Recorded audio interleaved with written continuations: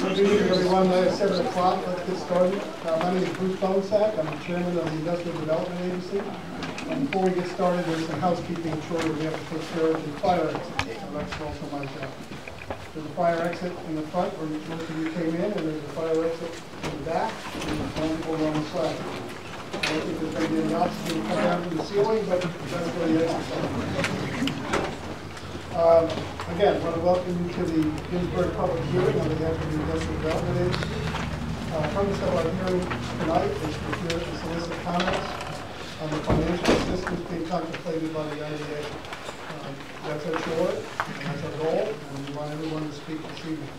We do have some housekeeping and some uh, information that we want to distribute, and we have some speakers that want to come up before we do so. I want to introduce the IDA board members that are here this evening. Bob Paluccio, Bob, you raise your hand. Bob Stickles, Jim Macker, and myself.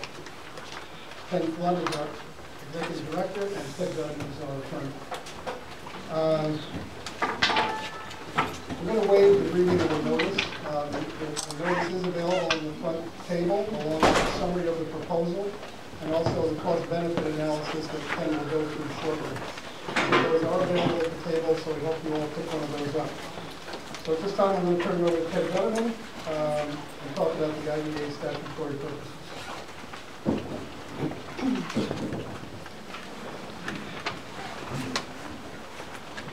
Thank you. Good evening, ladies and gentlemen. Um, I thought it would be helpful to basically read the basic portion of the IDA statute by which the IDA board members uh, are charged with uh, how they are to act on these applications, and basically sets forth the purposes of the IDA. And this is uh, General Obligations Law, Section 858, and it defines the purposes and powers of the IDA as follows. To promote, develop, encourage, and assist in the maintaining and furnishing of industrial, manufacturing, warehousing, commercial, research, and recreational facilities, and to provide and advance the job opportunities, health, general prosperity, and economic welfare of the people of the state of New York. So that is the statutory uh, purpose of the IDA.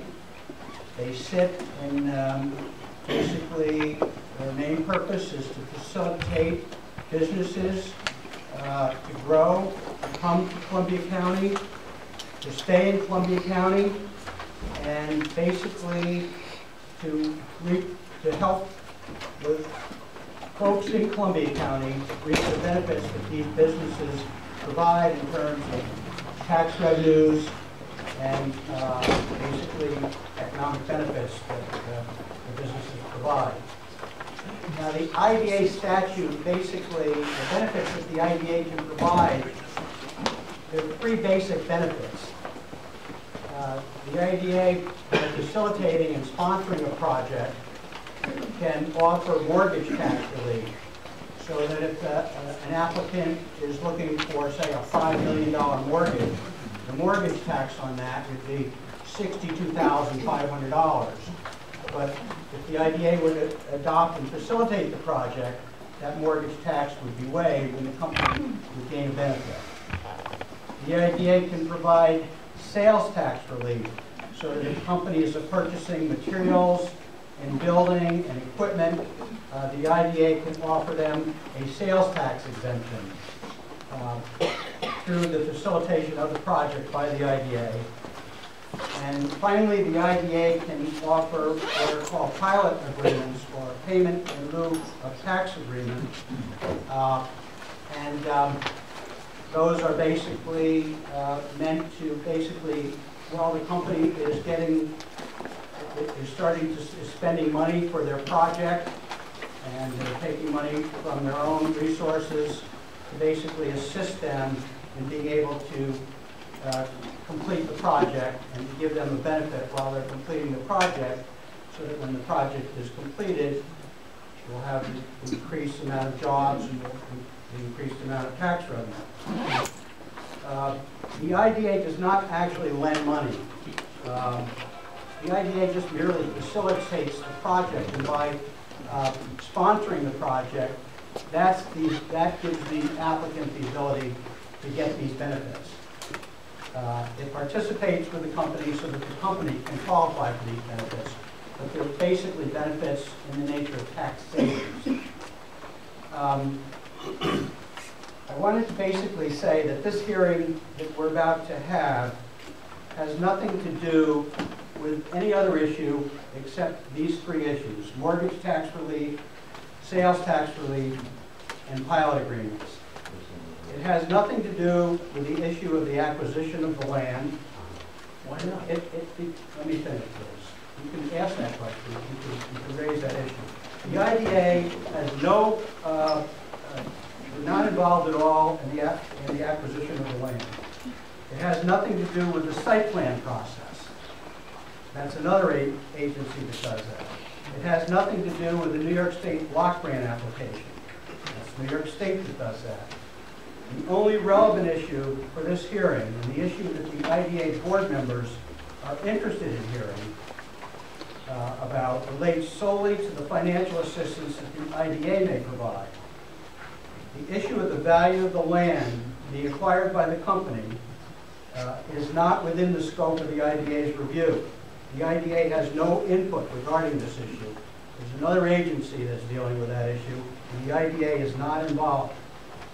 Therefore, comments regarding the acquisition of the land have little relevance to the IDA's determination, and it would be much more helpful to the board members to hear public comments relating to the issues that the IDA board will consider, which are what benefits would be appropriate, uh, and what scope of those benefits would be with this situation in connection with taking action consistent with the IDA purposes uh, in order to keep the company in Columbia County for the purpose of providing continuing jobs and economic benefits to the residents of the county. Uh, I'll now turn this back to Bruce. I'd like to ask Jim McInerney to come up and review the uh, proposal. And the proposal again is on the table in the front. If you don't have a copy of the proposal, I suggest you might get it. I don't want to have to read the whole proposal. Uh, I do want to outline it. Um, I am Jim McAvoy. I'm a resident and taxpayer in the town of Auburn. I'm one of the six members of the IDA board. We're here tonight to discuss the the tax incentives that uh, Ted has just talked about. And I want to go into those in a little bit of detail with you tonight so we can have your input. Your input is important in this process, but before we do that, I want to go through some of the facts of the application. As I know some of the communications reporting on this have not been of the best perhaps, and there's some misunderstandings as to what they are.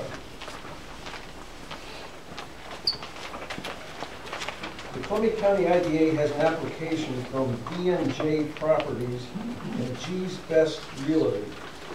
Those are real estate holding companies in the Ginsberg uh, business structure, which would own the properties. They would be the ones that would be the taxable entities of this. The properties are are operated under Ginsberg. But the application comes from these companies. They're seeking tax benefits that are outlined in that sheet that uh, I hope you picked up, but I'm going to go through those in a little bit of detail here. The reason the IDA is considering this application is to encourage the company to develop a new facility in Columbia County and expand the local employment from the current number as reported in the application of 254 full-time employees and seven part-time employees. The intent is to create at least 21 new jobs in phase one. There's three phases proposed in this, this application. And in addition to the, the jobs that would be um, retained and the jobs that would be created with a new expansion, there are at least 28 full-time jobs by indirect. Um, These are people that work with Ginsberg's or for Ginsberg's. I think this includes people that like rider truck people that service the trucks and such. So there's at least 28 other jobs other than the Ginsberg's payroll itself. And the construction is estimated to have 49 full-time construction jobs. I think that's roughly a payroll around $15 million a year. And I think any economic uh, advisor would tell you that a payroll goes through the community about two and a half to three times in its economic benefits. So a $15 million payroll a year is going to provide something in excess of $40 million or so in economic benefit throughout the county. How long is the construction? You said the construction, then you said the annual fee. The annual is 15 million. The construction is only gonna last a year or two, right? The construction as has been proposed in this would be uh, completed within three years. The phase one would be completed within three years. Is there a guarantee that they're gonna be Please, put jobs? please, Hey, hey, We we will, we will address the there guarantee? There will be an agreement drawn that will have, have language in it, yes, that would fallback language in an agreement that will be drawn. But let me go back here. Now, the project itself is going to involve up to three phases. The initial phase would involve the purchase of 33 acres of land from Columbia Economic Development Corporation. That is not the IDA, as Ted said, we have no, no uh, involvement in the purchase. If they don't purchase the land, there's no IDA action to be taken. If they do purchase the land under whatever agreement that, that- that they come to with the CEDC, then the IDA application will go forward. The IDA application then would involve three different um, facilities in the way of tax exemptions. Ted outlined those before, but I want to give you details on that. Sales tax and construction materials and equipment. Sales tax, eight and a quarter percent. Roughly, the taxable portion of this would be estimated around five million dollars. So there would be about a four hundred thousand dollar sales tax uh, exemption issued on phase one. When it goes to phase two and phase three with additional construction, um, the phase one construction is twelve million dollars, uh, by the way, and, and the, the phase two and phase three would be up to an additional forty million dollars. The mortgage recording tax, and this is um, uh, payable to the county. It's one and a quarter percent of commercial mortgages. Uh, anybody that's purchased a house and taken out a mortgage knows one of the closing costs is mortgage tax. And one and a quarter percent of $12 million is a pretty big number. It's about 118000 uh, We've estimated up to $125,000 here in the sheets is what the mortgage tax exemption would be in phase one. On phase two and three, it could be up to another $250,000. The third component of this is the real property um, tax or the pilot. The pilot is uh, uh, short for payment in lieu of taxes. It's a payment that the company would make uh, to the IDA. The IDA would then filter the money down to the county, to the town, and to the school district or whatever the um, pilot agreement calls for. There's two components to the application as, as we've received, asking for two different pilot uh, considerations. Ginsberg currently operates a facility you're probably familiar with. Um, The facility is, uh, has been assessed for about $3.2 million. Um, They have an existing pilot on that property. That pilot is, in this year, 2014, the last year of the pilot payments. They paid this year a little over ninety-two thousand dollars in pilot payment. Um, And the tax, if it had not been a pilot, would actually have been less this year. Would have been eighty-eight thousand dollars, eighty-eight thousand six hundred and thirty dollars. Um, The, um, and, and the reason for that is the actual assessment on the property is uh, less than what the agreement was in the in the pilot agreement. So the pilot actually attract a higher assessment than what the town assessors have put on the property. The application is to, to extend that pi- pilot on the existing property for an additional five years. That five years would be freezing the payment at what the payment would be this year, eighty-eight thousand six hundred and fifty dollars. So no one is going to receive less than what the taxes would have been this year uh, for the next five years on that. That property is all within the town of Clover, it is all within the Hudson City School District. The, um, There's some reporting on that uh, earlier at the Taconic Hills Board uh, meeting, I believe, um, incorrectly stated that the tax would be cut in half on that property. That is not the case. The second part of the application is a request for a new pilot on the um, property to be purchased. Again, if this is purchased, and they go forward with a construction project in the, in the estimated amount of twelve million dollars. The property in the town has 33 acres. It is partially in the town again, partially in the town of Clover. It is all within the Conic Hills School District. That property is currently owned by Columbia Economic Development Corporation. It was purchased in 1997 by that corporation for $109,950.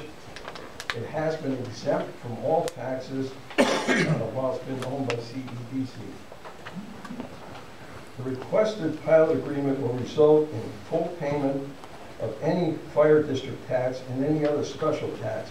That's also true on, on the uh, existing pilot, on the, the property that's in the Hudson City School District. They pay the full fire district tax in addition to the approved pilot program.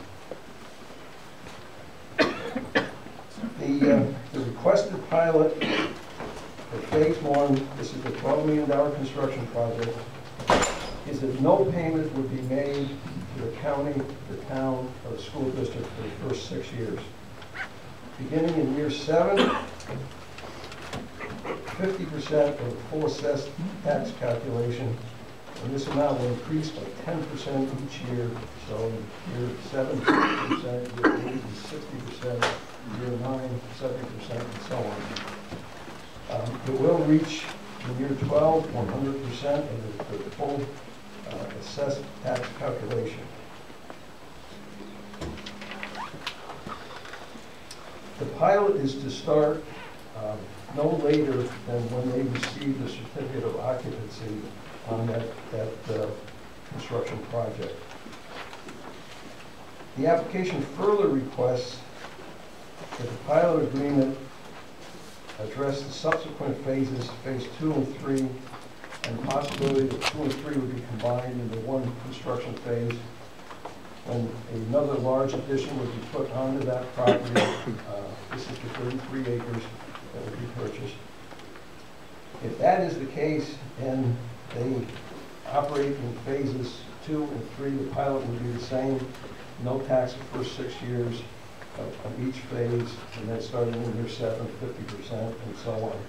If they're done in, in, in, as a combination, phase two and three together, the tax would be approved for the first eight years. In year nine, it would start at fifty percent, and it would reach hundred percent through year fourteen. Those are, those are the terms that have been put in the application. The application's been made to the IDA to grant those tax exemptions. We're here tonight to have input from the public on those issues, and that's what we'll be doing in a few minutes. But before that, I'm going to turn it back to Bruce, and um, we're going to have a presentation, I think, on on the. Before we do that, we're going to have a presentation by Ken Flood on the cost benefit analysis that the IDA goes through to make a determination uh, on a project that we have